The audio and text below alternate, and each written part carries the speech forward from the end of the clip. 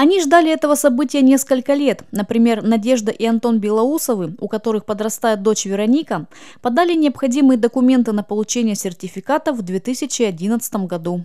Ждали пять лет. Как родилась дочка, так сразу подали документы.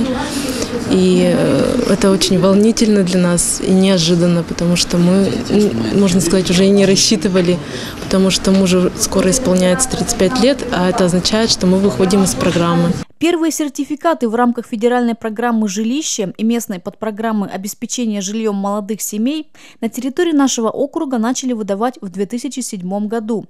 Тогда инициативу включиться в программу проявила общественная молодежная организация ВСМПО, которую в ту пору возглавлял нынешний глава администрации округа Константин Ильичев.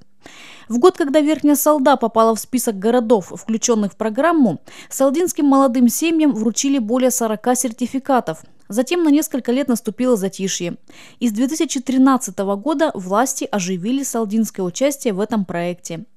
Денежную сумму, которая выдается в виде сертификата, составляют средства федерального, областного и местного бюджетов.